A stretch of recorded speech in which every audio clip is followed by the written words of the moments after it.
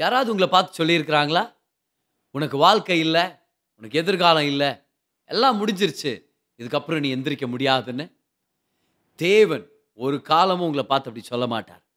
ஏன்னா அவருடைய அன்பு மாறாதது கைவிடாத அன்பு விட்டு கொடுக்காத அன்பு. இந்த அன்பை பற்றி தான் இந்த எபிசோடில் பார்க்க போகிறோம் வாங்க எபிசோட்குள்ளே போகலாம்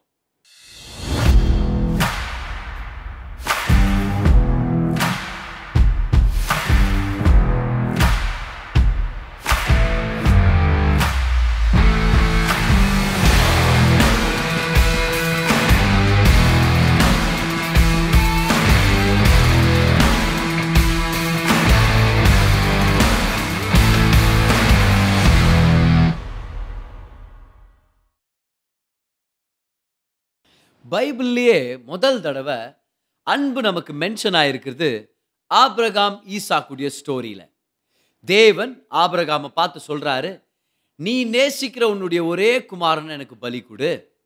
அப்படின்னா முத முதல் வேதம் அன்பை குறிப்பிடும்போது அது ஒரு தகப்பனின் அன்பு. தேவனுடைய அன்பு ரொம்ப ஆழமானது நம்மளுக்கு தெரியும் ரொம்ப ஆச்சரியமானது. அதனால தான் இந்த சீரீஸ் பேர் the astonishing love of God அவர் பல வகையில் அவருடைய அன்பை வெளிப்படுத்துறாரு. ஆனால் அவருடைய அன்பு ஒரு அப்பாவின் அன்பு போல அப்படின்னு அவர் மென்ஷன் பண்ணியிருக்கிறது மட்டும் பல தடவை வேதத்தில்.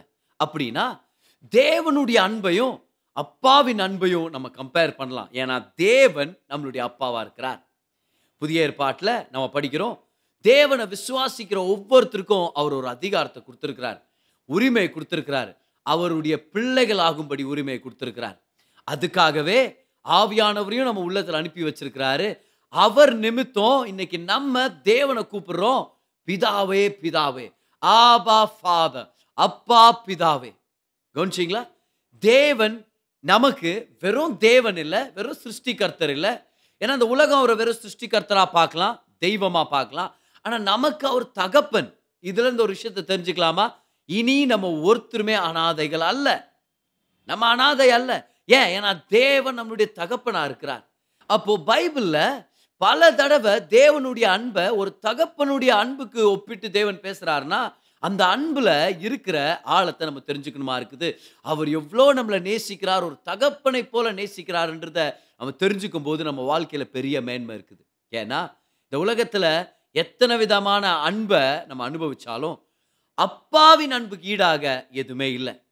அப்பாவின் அன்பு கான்ஃபிடென்ஸை கொடுக்குது. அப்பாவின் அன்பு ஒரு ப்ரொடெக்ஷனை கொடுக்குது. அப்பாவின் அன்பு ஒரு செக்யூரிட்டி ஏற்படுத்துது ஒரு நிலையான சமாதானத்தை கொண்டு வருது.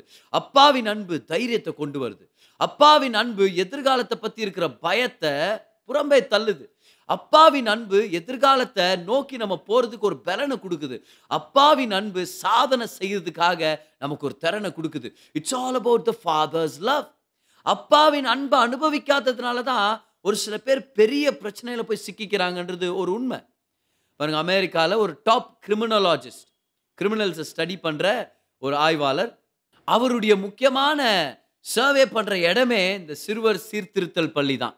ஜூவனைல் டிடென்ஷன் சென்டர் இந்த டீனேஜர்ஸ் ஏன் இந்த குற்றத்தில் போய் விழுந்தாங்க? ஏன் இத்தனை குற்றங்களை செய்கிறாங்க அவர் ஸ்டடி பண்ணிட்டு அவர் கொடுக்குற ஸ்டாட்டிஸ்டிக்ஸ் பாருங்க அவர் சொல்கிறாரு இந்த குற்றங்கள் செய்யும்போது இவங்களுடைய நிலையை ஸ்டடி பண்ணும்போது அறுபது சதவீதம் இந்த டீனேஜர் குற்றவாளிகள் அவங்க வந்து ஒரு சரியான படிப்பறிவு இல்லாதவங்க ஸ்கூல் போலாதவங்க அவங்களுக்கு எஜுகேஷனல் ஃபெசிலிட்டிஸ் அவைலபிளாக இல்லை அப்படின்னு சொல்கிறாரு அதே ரிப்போர்ட்டில் சொல்கிறாரு எழுபது சதவீதம் இந்த வாலிபர்கள் குற்றம் பண்ணும்போது ஒன்று சாராய பழக்கத்திலோ இல்லை போதை மருந்து பழக்கத்தில் இருந்திருக்கிறாங்க அப்படின்னு. They were high on drugs when they committed crime ஆனால் அது எல்லாத்த விட அவர் சொல்கிற டீட்டெயிலை கவனிங்க எண்பது சதவீதம் eighty percent of these youngsters அவங்களுக்கு அவங்க வளரும் போது ஒரு தகப்பனுடைய பிரசனம் அவங்க வீட்டில் இல்லை. They did not grow up with a father they had no father figure in the home in the lives ஒரு தகப்பன் இல்லை. சிங்கிள் பேரண்ட் அந்த நிலமையில் அவங்க வளர்ந்தாங்களா நம்மளுக்கு தெரியல. ஒருவேளை அனாதைகளை வளர்ந்தாங்களான்னு தெரியல. ஆனால் தகப்பனுடைய அன்பு கிடைக்காம அவங்க ஒரு தவறான பாதைக்கு போயிட்டாங்க. இன்னைக்கு கூட நல்லா ஞாபகம் வச்சுங்க அநேக வாலிப தம்பிமார்கள் ஏன் திசை திருப்பப்பட்டு எதேதோ விஷயத்துலலாம் தலையிட்டு அடிபட்டு காயங்களை ஏற்றுக்கொண்டு அநேகரை காயப்படுத்துறவங்களா திருட்டுத்தனத்துலேயும் போதை மருந்து பழக்கத்துக்கு அடிமையாக இருக்கிறாங்கன்னா காரணம் என்னன்னா ஒரு பெரிய காரணமே இதுதான்.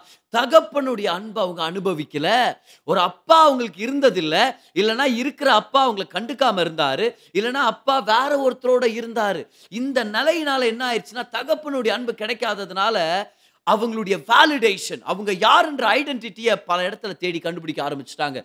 Because you see when a boy does not have a father in his life he will look for his identity in his performance look to his identity from his friends from his circumstances from his ஒரு பிள்ளை வளரும்போது ஒரு தகப்பனுடைய பிரசனமோ தகப்பனுடைய support இல்லைன்னா தன்னுடைய அடையாளத்தை தன்னுடைய பிரயாசத்தில் தேடி ஆரம்பிப்பான். அதுக்கப்புறம் அதில் ஃபெயில் ஆயிட்டான்னா நண்பர்கிட்ட இருந்து தேட போயிடுவான் அதுவும் கிடைக்கலனா தன்னுடைய சாதனைகள் எதையாவது செய்யணும் எதையாவது செய்யணும். அப்புறம் இந்த ரிஜெக்ஷன் அந்த ஃபெயிலியர்ஸ் அவனை என்ன பண்ணிடுதுன்னா சொசைட்டியுடைய தவறான பாதைக்குள்ள அவனை வழி நடத்திட்டு போயிடுது அப்பாவுடைய அன்பு கிடைக்காததுனால நிறைய பேர் நாசப்பட்டுட்டு போயிட்டு இருக்கிறாங்க அன்னைக்கு அந்த சீனியர் கிரிமினாலஜிஸ்ட் சொன்னது போல எண்பது சதவீதம் வாலிபர்கள் அந்த ஜெயிலில் இருந்தது காரணமே என்னன்னு பார்த்தா ஒரு தகப்பனுடைய பிரச்சனை உங்கள் வாழ்க்கையில் இல்லையா? பெண்களுக்கு எவ்வளோ முக்கியம் அது? பெண் பிள்ளைகள் தகப்பனுடைய அன்பு இல்லாததுனால ப்ரொடெக்ஷன் இல்லாமல் ஒரு செக்யூரிட்டி இல்லாமல் நிறைவு இல்லாமல் யார் என்ன நேசிப்பா? யாராக இருந்தாலும் பரவாயில்ல. அவன் ரவுடிசம் பண்ணுறவனாக இருந்தாலும் பரவாயில்ல இல்லை போதை மருந்து கடத்துறவனாக இருந்தாலும் பரவாயில்ல. அவன் ஸ்மக்லராக இருந்தாலும் பரவாயில்ல அவன் அப்யூஸ் பண்ணுறவனாக இருந்தாலும் பரவாயில்லன்னு சொல்லி போய் சிக்கிக்கிறாங்களே. ஏன்? Because they looking for a daddy ஒரு தகப்பனை தேடிட்டு இருக்கிறாங்க. தகப்பன் இல்லாத நிலை நம்மளை வந்து டிஸ்ட்ராக்ட் பண்ணி விட்டுரும் டிஸ்டர்ப் பண்ணி விட்டுரும் டிஸ்ட்ராய் பண்ணி விட்டுரும். ஆனால் நீங்களும் நானும் சந்தோஷப்படணும். ஏன்னா நமக்கு ஒரு தகப்பன் இருக்கிறார். இன்னைக்கு தகப்பன்னு சொல்லும்போது டேடின்னு சொல்லும்போது ஒரு சில பேர் ஒரு வேளை கம்ஃபர்டபுளாக இல்லாமல் இருக்கலாம். ஏன்னா உங்கள் வாழ்க்கையில் ஒரு தகப்பனுடைய பிரச்சனத்தை நீங்கள் அனுபவிக்காமல் இருக்கலாம். ஒருவேளை உங்கள் வாழ்க்கையில் தகப்பன் இருந்தும் இல்லாதது போல இருக்கலாம். You grew up with an absentee father ஆனால் தேவன் உங்களை பார்த்து சொல்கிறாரு என்னைக்கு ஏசு கிறிஸ்துவ உன் சொந்த ரச்சராக ஏத்துக்கிட்டியோ அன்னைக்கே நீ என்னுடைய பிள்ளை நான் உன்னுடைய தகப்பன் நீ என்ன டேடின்னு கூப்பிடணும். அதுக்காகவே ஆவியானவர் அனுப்பி வச்சார் பாருங்க. ஏன்னா அவர் நம்மளை தத்தெடுத்துக்கிட்டாருன்னு நம்ம நினச்சிக்க வாய்ப்பு இருக்குது. அப்புறம் தத்தெடுக்கிறது ஒரு அருமையான விஷயம். ஆனால் ஒரு பிள்ளையை தத்தெடுத்தா அந்த பிள்ளைக்கு நீங்கள் தான் தகப்பன் அப்படின்ற அந்த உணர்வை கொண்டு வர முடியாது. உங்கள் அன்பை வெளிப்படுத்தலாம் உங்கள் சப்போர்ட்டை நீங்கள் வெளிப்படுத்தலாம் ஆனால் எப்படி இருந்தாலும் அந்த பிள்ளைக்கு நீங்கள் சொல்லியே ஆகணும் நீ தத்தெடுக்கப்பட்ட பிள்ளை தான் அப்படின்னு சொல்லி அந்த பிள்ளை அந்த ஐடியாவை ஏற்றுக்கிட்டு அந்த விஷயத்தை ஏற்றுக்கிட்டு அதோட வாழணுமா இருக்கும்? நிச்சயமாக தன்னுடைய சொந்த பெற்றோர்களை விட நீங்கள் அதிகமான அன்பை ஊட்டி கூட நீங்கள் வளர்க்கலாம். நிச்சயமாக அது நன்மையை கொண்டு வரும். ஆனால் you will never be able to give to that child knowing that he belongs to you ஆனால் கிறிஸ்தவன் வரும்போது ஏசு கிறிஸ்துவ சொந்த ரச்சரா அந்த நிலைமையில அந்த மாதிரி நம்ம அனாதைகளாக ஃபீல் பண்ணுறதுக்கான வாய்ப்பு இல்லை. ஏன் தெரியுமா? தேவன் அவருடைய ஆவியானவர் நமக்குள்ள அனுப்பியிருக்கிறார். இந்த ஆவியானவர் யாரு? கிறிஸ்துவின் ஆவியானவர். Is the spirit of Christ அப்போ ஏசு பிதாவை பார்த்து எந்த உரிமையில அப்பான்னு கூப்பிட்டாரோ அதே ஆவியை நமக்குள்ள கொடுத்துருக்கிறார். இனி நீங்களும் நானும் அனாதைகளான ஃபீலிங்க்கு இடம் கொடுக்க தேவையில்லை. விசாசானவன் அந்த மாதிரி எண்ணங்களை கொண்டு வரலாம். நம்மளுடைய வாழ்க்கையின் பிரயாசங்கள் அந்த மாதிரி விஷயத்தை நம்மளுக்கு ஊட்டி வளர்க்கலாம். ஆனால் நீங்களும் நானும் சொல்லலாம் இல்லை நான் அனாதை இல்லை. எனக்கு ஒரு அப்பா இருக்கிறார். அவரை நான் டேடின்னு கூப்பிட போகிறேன் ஏன்னா ரோமன்ஸ் எயிட் ஃபிஃப்டீனில் படிக்கிறோம் ஆவியானவர் நமக்குள்ள வந்திருக்கிறார். அவர் புத்திர ஸ்வீகாரத்தின் ஆவியானவரா.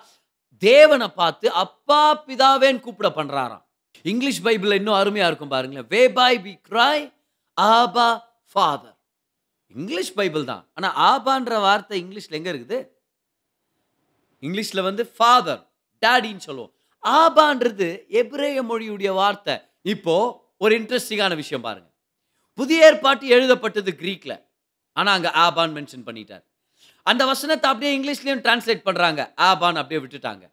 என்னவா இருக்கும் ஏன்னா க்ரீக்கில் அப்பாவுக்கான வார்த்தை பிதாவுக்கான வார்த்தை பத்தேர். ஆனால் ஆபான்ற வார்த்தை ஏன் கொண்டு வந்தாங்க?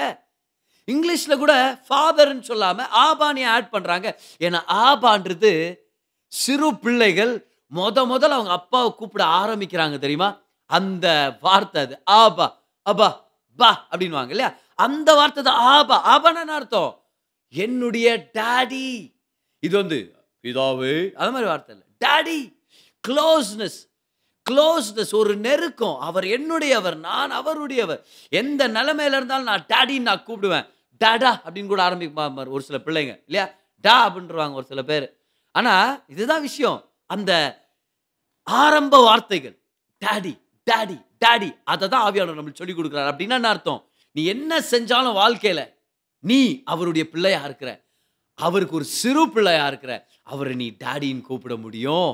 அப்பாவின் அன்பு நம்மளை நிலைப்படுத்துது. அப்பாவின் அன்பு நம்மளை நிரப்பும். அப்பாவின் அன்பு நம்மளை பாதுகாக்குது. இந்த அப்பாவின் அன்புடைய ஒரு முக்கியமான குவாலிட்டியை தான் இன்றைக்கி நம்ம எம்பசைஸ் பண்ண போகிறோம் அது என்ன குவாலிட்டி தெரியுமா? அப்பாவின் அன்பு விட்டு கொடுக்காத அன்பு.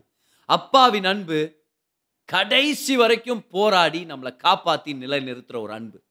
எந்த ஸ்டோரியிலேருந்து இதை கற்றுக்கிறோம் தெரியுமா? கெட்டகுமாரனுடைய ஸ்டோரியில் லூக்கா பதினஞ்சு இருபதில் படிக்கிறோம். இந்த கெட்டகுமாரன் எத்தனையோ மாதங்களுக்கு அப்புறம் அவங்க அப்பாவை பார்க்கணுன்றதுக்காக அப்பா வீட்டில் சாப்பாடு கிடைக்கணுன்றதுக்காக அப்பாவை தேடி வர்றான். வசனம் போட்டிருக்குது. அவன் தூரத்தில் வரும்போதே அவன் தகப்பன் அவனை கண்டு.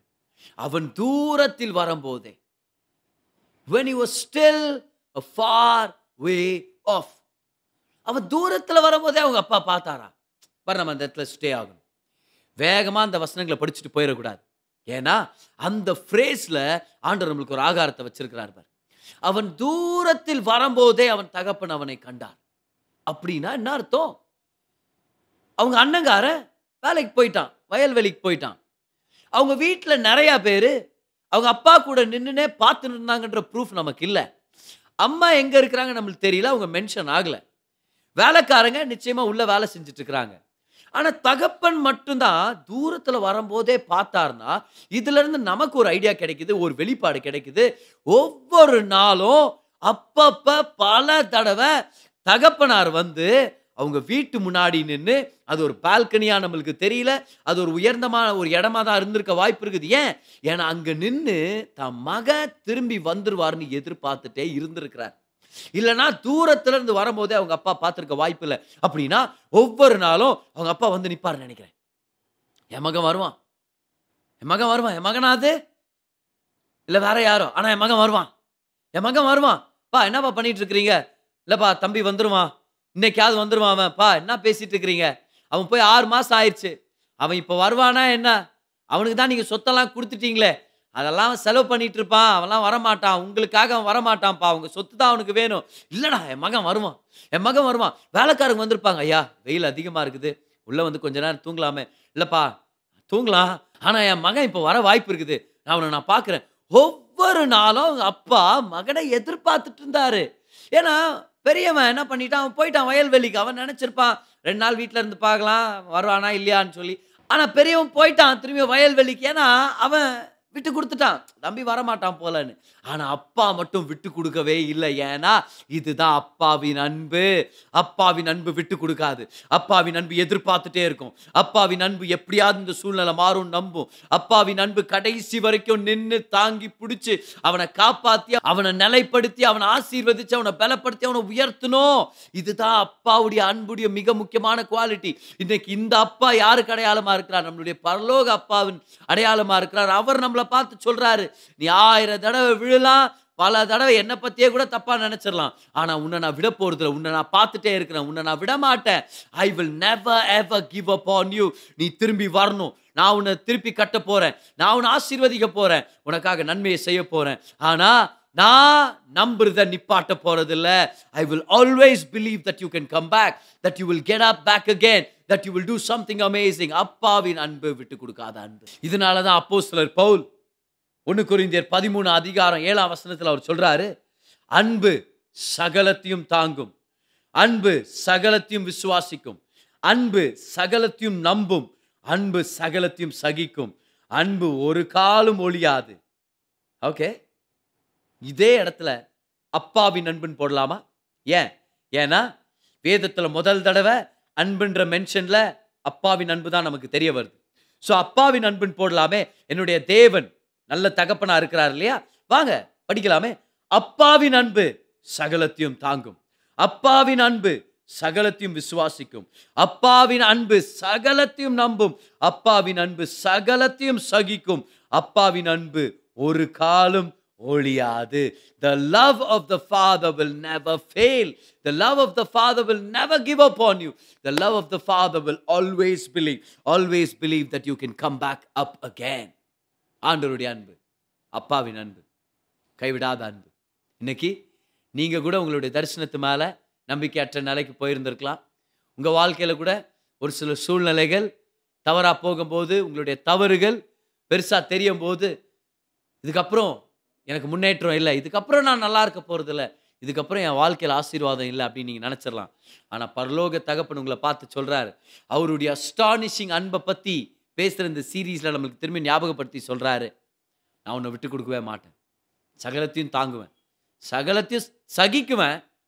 நீ திரும்பி வர முடியும் நான் நம்புகிறேன் நீ வேணால் நம்பாமல் போகலாம் ஆனால் நான் நம்புகிறேன் maybe today you don't believe that you can get back up again but father believes in you that you can get back up again அவர் உங்களை தூக்கி நிறுத்துவார். அவர் பலப்படுத்துவார். அவர் உங்களை ஆசீர்வதிப்பார். இந்த அன்பை மறந்துட வேண்டாம்.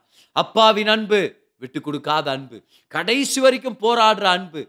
சகலத்தையும் தாங்கும் அன்பு. நீங்களே உங்கள் வாழ்க்கையில் ஒரு நன்மை நடக்காதுன்னு நீங்கள் நம்பிக்கையற்ற நிலைமையில போயிட்டாலும் அவருடைய அன்பு உங்களை தேடி வந்து உங்களை காப்பாற்றுற ஒரு அன்பாக இருக்குது. அந்த அன்பை அனுபவிங்க. அவர் அப்பான்னு கூப்பிடுங்க. அவரை டேடின்னு கூப்பிடுங்க. இந்த நேரத்தில் அவர் உங்கள் பக்கத்தில் தான் இருக்கிறார். அந்த அன்புக்கு இடம் கொடுங்க. அந்த அன்பு உங்களை ரிப்பேர் பண்ணும். அந்த அன்பு உங்களை ரெஸ்டோர் பண்ணும். அங்கே அந்த அன்பு உங்களை தூக்கி நிறுத்தும். பல வருஷங்களுக்கு முன்னாடி ஒரு யுத்தம். அந்த யுத்தத்தில் தன்னுடைய மகன் சோல்ஜராக என்லிஸ்ட் இருக்கிறார். இந்த யுத்தம் ரொம்ப மோசமான நிலைமையில போயிட்டுருக்குதுன்னும் ரொம்ப கோரமான சம்பவங்கள் நடந்துட்டு இருக்குதுன்னு அப்பா கேள்விப்படுறார். ஐயோ யுத்தத்தில் என்ன ஆயிடுச்சோன்னு சொல்லி அவருடைய மகன் எங்கே ஃபைட் பண்ணிட்டு இருக்கிறாரோ அந்த பெட்டாலியனுக்கு அவர் வர்றார் கரெக்டாக அந்த இடத்துக்கு வர்றார். போய் கேட்டார் ஆஃபீஸர் கிட்ட இந்த மாதிரி என்னுடைய மகன் ஜான் வந்திருக்கானா பாருங்க. என்னுடைய மகன் ஜான் எங்கே இருக்கிறான்? நான் தெரிஞ்சுக்கணும். அவர் அன்னைக்கு இது ரிப்போர்ட்டை படித்து அவர் சொன்னாரா? இன்னைக்கு சாயங்காலம் யுத்தம் முடியும் போது நாங்கள் பேரை கூப்பிடும் போது உங்கள் மகன் ஆன்சர் பண்ணல. அதனால உங்கள் மகன் இறந்து போயிருக்க வாய்ப்பு இருக்குதுன்னு சொல்லி நாங்கள் நம்ப முடியும். யோர் சன் இஸ் டெட் அவர் சொன்னாரா? இல்லை. என் மகன் கண்டிப்பாக உயிரோடு இருக்க முடியும். எப்படியாவது நான் தெரிஞ்சுக்கணுமே அவங்க சொல்லியிருக்கிறாங்க. மிஸ்டர் ஹார்ட்மேன் உங்கள் மகன் சாயங்காலமாக பேரை கூப்பிடும்போது ஆன்சர் பண்ணல. அதனால் எங்களுக்கு என்ன சொல்கிறதுன்னு தெரியல. Your son could be dead ஆனால் அப்பாவை சமாதானப்படுத்த முடியல. அந்த அப்பா யுத்த பூமியை நோக்கி போனார். ரொம்ப டேஞ்சரஸ் எதிரிகள் ஏற்கனவே அநேகரை சுட்டு போட்ட இடம் அது. டேஞ்சரஸான சுச்சுவேஷன் பல பேர் அவரை தடுத்துருக்கலாம் ஆனால் அப்பாவை தடுக்க முடியல. மிஸ்டர் ஹார்ட்மேன் கிளம்புறார். போகிறார் யுத்த பூமிக்கு அங்கே அநேக யுத்த வீரர்களுடைய சடலங்கள் கிடக்குது. போறாரு. ஒருத்தருடைய முகமா உத்து பார்க்குறாரு. என் மகனா? இல்ல. ஒரு ஒரு ச- சடலத்தை திருப்பி பார்க்குறாரு. இது என்னுடைய மகனா? இல்ல அப்படியே தேடிட்டே இருக்கிறார். கிடைக்கல. தன்னுடைய மகன் கிடைக்கல.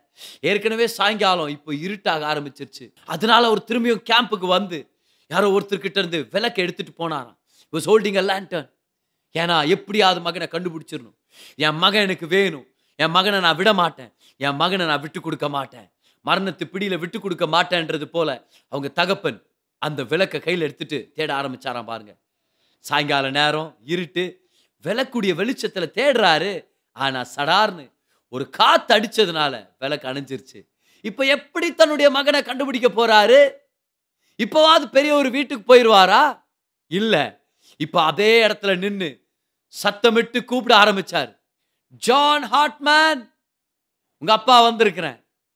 ஜான் ஹார்ட்மேன் அப்பா வந்திருக்கிறேன்ப்பா. நீ எங்க இருக்கிற? அப்பா வந்திருக்கிறேன்னு சொல்லி கூப்பிட ஆரம்பிச்சாரு. காத்து அடிக்குது அந்த குளிர் மத்தியில தூரத்துல அங்கங்க சத்தம் கேட்குது என்னன்னு தெரியுமா? எங்க அப்பா வந்திருந்தா நல்லா இருக்குமே. ஐயோ அது எங்க அப்பாவா இருந்தா நல்லா இருக்குமே. இவர் கூப்பிட்டுட்டே இருக்கிறார். ஜான் ஹார்ட்மேன் அப்பா வந்திருக்கிறேன். அப்பா வந்திருக்கிறேன். தூரத்துல ஒரு சத்தம் கேட்குது அப்பா நான் இங்க இருக்கிறேன்னு. ஓடி போனாரு. தன் மகனை தூக்குனாரு. தூக்கிட்டு வந்தார் பாருங்க வயசானவர் தான். ஆனால் தன்னுடைய மகனை தோல் மேலே போட்டு சுமந்துட்டு வந்தார். திரும்பியும் கேம்ப் சைட்டுக்கு வந்தார் ஹெட் குவார்ட்டர்ஸ்க்கு வந்தார். அங்கே மகனை அட்மிட் பண்ணாங்க. காயங்களை ஆற்றுனாங்க ட்ரீட்மெண்ட் கொடுத்தாங்க. வீட்டுக்கு கொண்டு போனாரு. தீர்காயுசோட அந்த மகன் வாழ்ந்தான். ஏன் இதை நான் சொல்கிறேன்னா இன்றைக்கும் இந்த வாழ்க்கைன்ற யுத்த பூமியில் அநேகர் காயப்பட்டு விழுந்து கிடக்கிறாங்க. அது கெரியர் பிரச்சனையாக இருக்கலாம் கேர்ள் ஃப்ரெண்ட் பாய் ஃப்ரெண்ட் பிரச்சனையாக இருக்கலாம் தோல்விகளாக இருக்கலாம் பணப்பிரச்சனையாக இருக்கலாம் ஆனால் காயப்பட்டிருக்கிறாங்க. ஏன்னா இந்த உலகம் ஒரு யுத்த பூமி. சத்ருவான ஒருத்தர் இருக்கிறான். எப்படியாவது யாரையாவது முடங்கடிக்கணும். யாரையாவது காயப்படுத்தணும்னு சத்ருவானவன் தீவிரமாக தேடிட்டு இருக்கிறான். ஆனால் இன்னைக்கு இன்னொரு தேடலை பற்றி நான் உங்களுக்கு சொல்லிட்டு இருக்கிறேன். தகப்பனார் தேடிட்டு இருக்கிறார். யார் காயப்பட்டிருக்கிறது? என் மகன் எங்க? என் மகள் எங்கன்னு சொல்லி இப்போ கூப்பிட்டுட்டு இருக்கிறார். உங்கள் பேரை கூப்பிட்டுட்டு இருக்கிறார். அன்னைக்கு எப்படி அந்த தகப்பன் கூப்பிட்டாரோ? John Hartman your father calls to you உன் தகப்பன் உன்னை தேடி வந்திருக்கிறேன். நான் வந்திருக்கிறேன் அப்பா வந்திருக்கிறேன். இன்னைக்கு பரலோக பிதா ஆவியானுடைய சத்தத்தின் மூலமாக இந்த டீச்சிங் மூலமாக அவங்களை அழைச்சிட்டு சொல்லிட்டு இருக்கிறார். நீ வேணா உன் வாழ்க்கையில நம்பிக்கையற்று போயிடலாம் இதுக்கப்புறம் வாழ்க்கை இல்லை. இதுக்கப்புறம் நான் எதுவும் செய்ய முடியாது நான் பார்க்க முடியாதுன்னு. ஆனால் தேவன் சொல்றாரு நான் நம்புறேன். நீ நல்லா இருக்க முடியும். நீ திரும்பி வர முடியும். உன் காயங்களை கட்டுவேன். உன்னை பலப்படுத்துவேன். உன்னை தீர்காயுசோட வாழ வைப்பேன். ஏன்னா இந்த உலகமே கை கழுவிடலாம் நீ முன்னேற முடியாதுன்னு. ஆனா உனக்காக என்னுடைய ஒரே குமாரனை கொடுத்து ரட்சித்த உன்னுடைய தகப்பன்னா உன்னை விட்டு கொடுக்க போறதில்ல. என்னுடைய அன்பு விட்டு கொடுக்காத அன்பு. ரிலன்ட்லெஸ் லவ் இந்த அன்பை இன்னைக்கு பெற்றுக்கொள்ளுங்க. இந்த அன்பை இன்னைக்கு ரிசீவ் பண்ணிக்கங்க. இந்த அன்பை அனுபவிங்க. அவர் அப்பான்னு கூப்பிடுங்க டேடின்னு கூப்பிடுங்க. அவருடைய அன்பை அனுபவிக்க அனுபவிக்க. உங்க காயங்கள்ல இருந்து நீங்க வெளியே வர முடியும். உங்க தோல்வியில இருந்து வெளியே வர முடியும். உங்க சூழ்நிலை மாறும். உங்களுடைய காயங்கள் ஆற்றப்படும். நம்பிக்கை திரும்பியும் கிடைக்கும். உங்க வாழ்க்கையில எதிர்காலத்தை நீங்க அனுபவிக்க முடியும். சுகமா வாழ முடியும். இந்த தகப்பனின் அன்பு கைவிடாத அன்பு சகலத்தையும் தாங்கும். சகலத்தையும் நம்பும். சகலத்தையும் சகிக்கும். இந்த தகப்பன் உங்களை நேசிக்கிறார்.